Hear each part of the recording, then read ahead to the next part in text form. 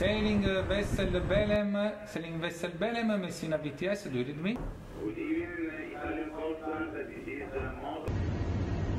In questo momento sul monitor della nostra sala operativa gli operatori VTS seguono il transito nello stretto del convoglio che accompagna la fiaccola olimpica. L'attraversamento dello stretto è complesso in ragione delle forti correnti e dell'intenso traffico.